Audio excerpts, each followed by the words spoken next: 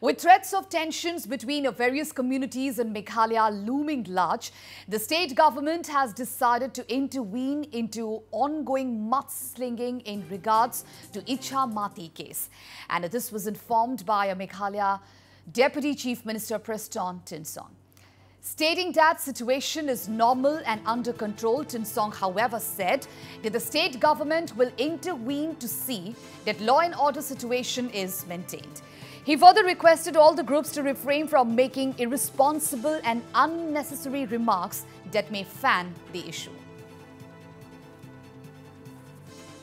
See, in fact, our request to all concerned is to kindly don't spread out any news which is affecting peace, tranquility, and the peaceful state of Meghalaya. I, I, I would request all of them to ref, refrain from this kind of spreading the rumors in the social media. Because, see, ultimately, I think you must have seen it. Even uh, those permanent residents, whom we call it Bengali community, they came out with a very good statement. They said, in fact, no harassment done by the local people. So that itself you understand.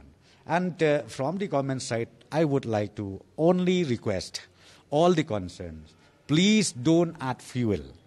Don't add fuel in this issue because we live together, we grow together in Meghalaya, and we are one. Don't say that you are non tribal or don't say that you are tribal, but we are one as brothers and sisters. Yeah.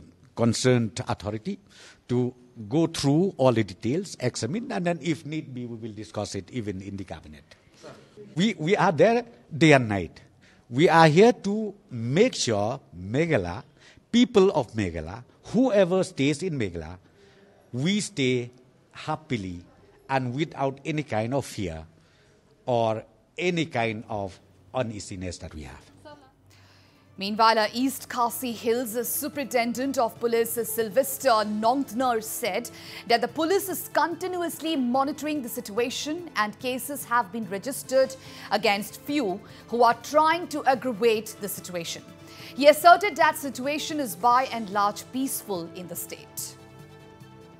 The presentation, uh, it's, uh, I would say it's okay. By and large, we are now peaceful. We just concluded this uh, Puja, Durga Puja festival and all went off well.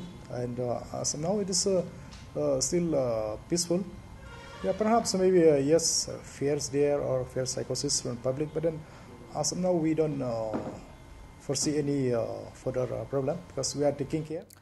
And on the threat issued by the unknown United Bengal Liberation Army or UBLA, the superintendent of police said that a case has been registered and inquiry is on to ascertain whether the outfit is even genuine or not. No, yes, as you say, the case has been registered in cybercrime. Then we're still uh, under inquiry whether the outfit is genuine or not. That is, is uh, yet to be ascertained because we have not heard earlier there's such uh, an outfit like that. No.